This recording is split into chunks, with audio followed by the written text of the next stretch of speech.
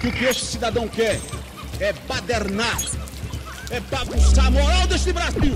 Canalhas! Emboscando criança nas escolas!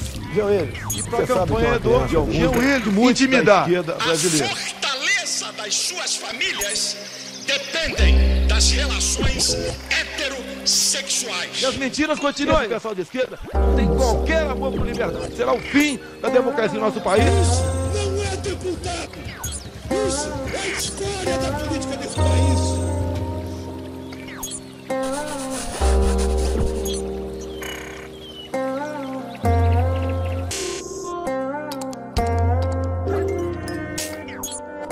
O que está acontecendo no Brasil nesse momento é um genocídio.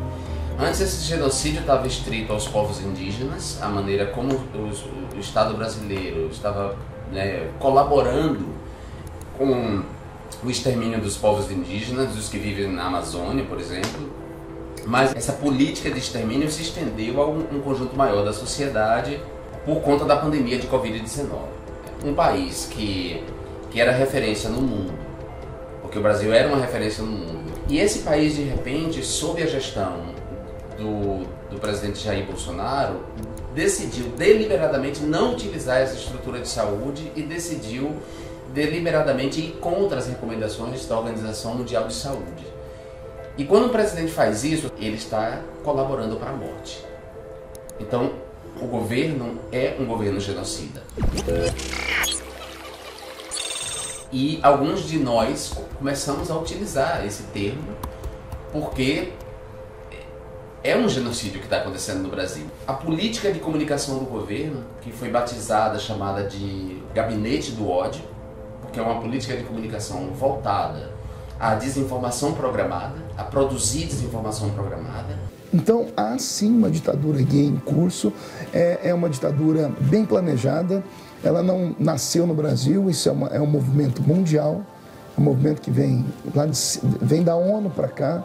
A destruir reputações por meio da mentira e, a, e voltada à, à convocação, à permanente excitação dos seus soldados, dos seus seguidores, um comportamento de seita. Homossexualismo, direito.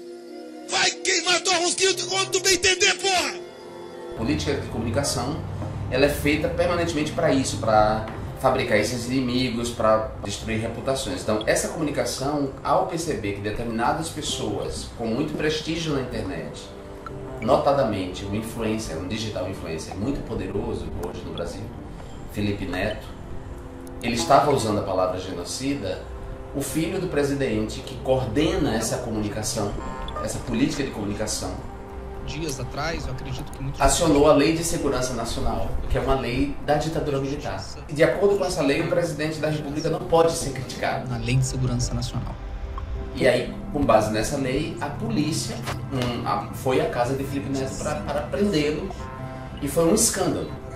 E aí, nesse exato momento, que quando eu soube dessa notícia, eu fiz um desenho São tempos perigosos. Quem se cala tem participação. E esse desenho alcançou, teve um alcance, viralizou de uma certa maneira que eu, que eu não esperava.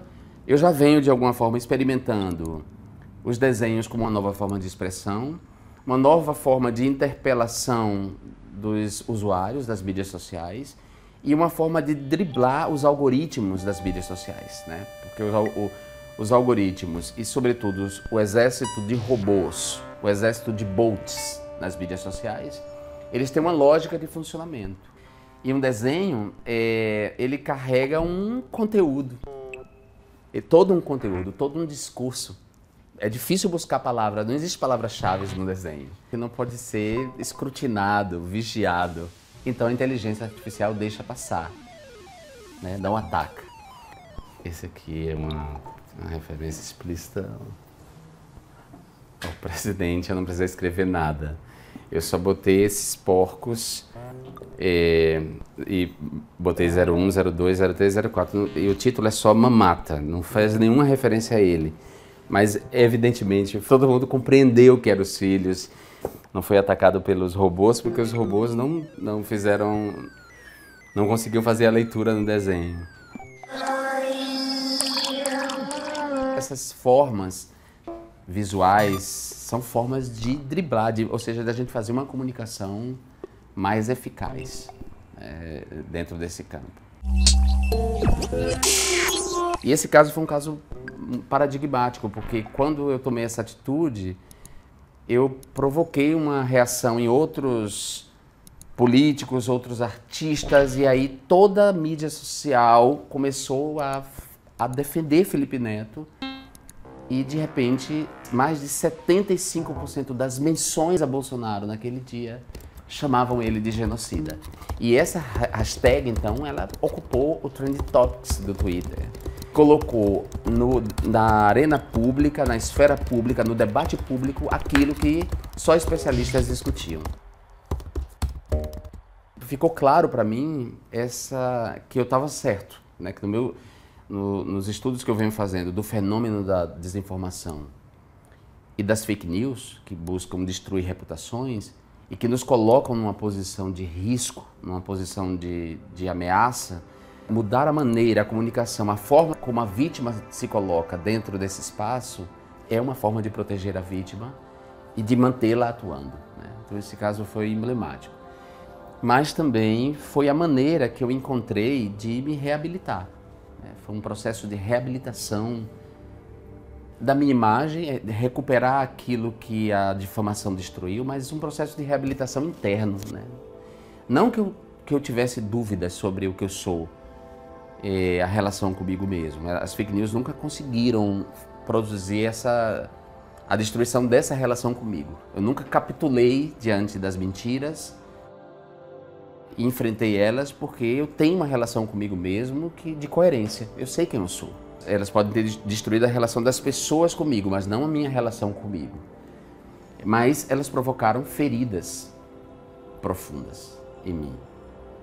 Então, eu já havia construído muita coisa como ativista, como deputado, não podia deixar isso né, de lado, não podia abandonar simplesmente essa luta. Não podem tratar a luta pelos direitos de LGBT. A gente não pode descolar a luta antimanicomial. É importante que todos tenhamos. A gente não então, pode. as pessoas da luta antimanicomial não. Não podia ser irresponsável com tudo que eu construí, com as pessoas que se viam representadas em mim. A nossa luta é todo dia contra o machismo, racismo, homofobia. A nossa luta. Ainda que eu precisasse salvar a minha vida é, indo para o exílio.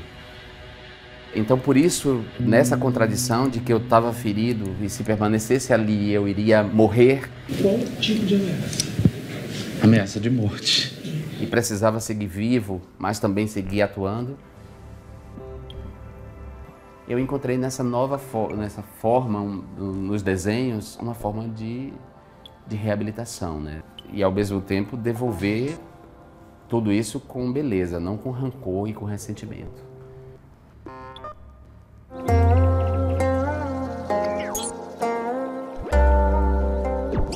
Eu trabalho com proporções pequenas e fotografo e depois coloco nas mídias sociais. Não só intervir é, no espaço digital, politicamente, mas também colocar beleza no mundo e aproveitar determinados produtos é, do, do, do, capitalismo, do capitalismo pós-industrial, o lixo do capitalismo pós-industrial para transformar em beleza.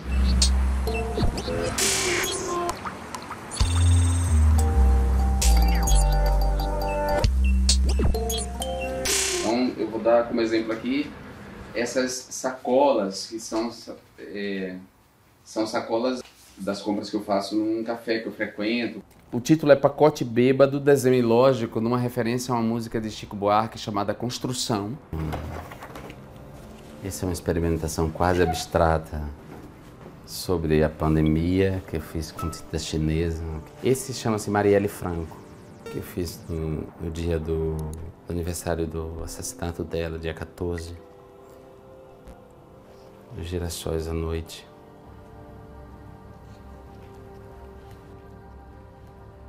E é interessante porque eu estou aproveitando a natureza da, da internet, né? desse ambiente comunicacional. Ou seja, eu faço um desenho pequeno, desse tamanho aqui, eu fotografo. Na internet, ele, ele não precisa ter o tamanho original, e o tamanho dele cresce, porque a internet traz uma outra dimensão, um outro tempo. E isso é muito bacana, então é combinar também o, o desenho analógico, né? e é bom que exista o desenho analógico, que a pessoa se dedique a fazê-lo, com a tecnologia digital. Não é a mesma coisa. Então, mas as duas coisas podem ser combinadas.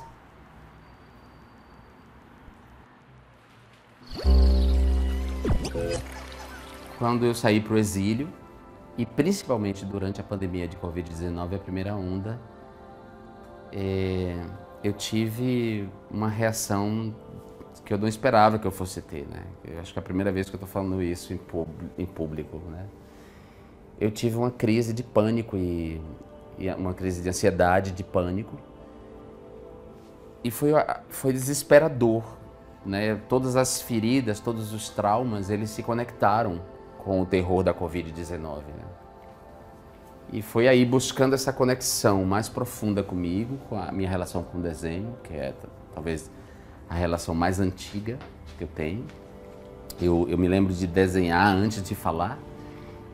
Então, além de eu ser um, uma criança eh, pobre, que comecei a trabalhar cedo, eu era uma criança LGBT. Eu sou homossexual assumido, eu sim. Eu sou homossexual assumido. Sou deputado federal, ocupo a vaga aqui nessa mesa. Represento a população homossexual e, portanto, sou um homem de sucesso. Não há discurso que negue isso. Me desculpe. Tem um significado muito grande para a população LGBT, para a comunidade LGBT, ter esse deputado lá que se afirma homossexual com orgulho. Isso tem um impacto muito grande no imaginário das pessoas sobre a homossexualidade. identidade de gênero. Somos vítimas da homofobia institucional, da homofobia social, da transfobia social. É preciso que a gente se pergunte a razão desse sofrimento psíquico. Por que, que os homossexuais experimentam uma cultura heteronormativa construída há 3 mil anos? Por que, que eles experimentam um sentimento negativo em relação a si mesmo? É preciso se perguntar isso. Então eram muitos obstáculos. Mas eu fui driblando eles e o desenho era esse, foi um, um, um caminho que, que me tirava desse mundo, que me colocava no outro mundo. E foi aí que toda essa história recalcada da relação com o desenho entrou como uma espécie de reabilitação.